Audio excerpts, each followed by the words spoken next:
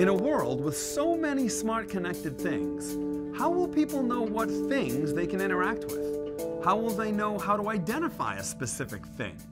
How will they know what app to use with what things, and how will they keep their apps up to date? To solve these problems, we at PTC are expanding our IoT platform with new capabilities coming later this year that we're calling the ThingX Suite. ThingX, short for Thing Experience, because these capabilities will fundamentally change the way that we all experience and interact with the things in our world.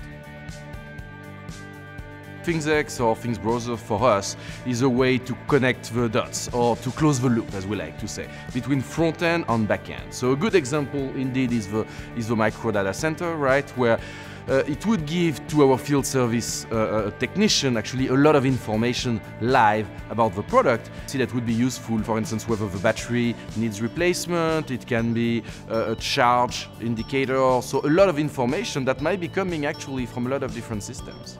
So with ThingsX, Things Browser, we can have right now real-time information about uh, um, micro data center right here in Boston. It helps, you know, having our field service technician having the right information at the right moment in the right context. So the idea really is to make um, our professionals, our field service technicians, for instance, in that in that example, more more efficient.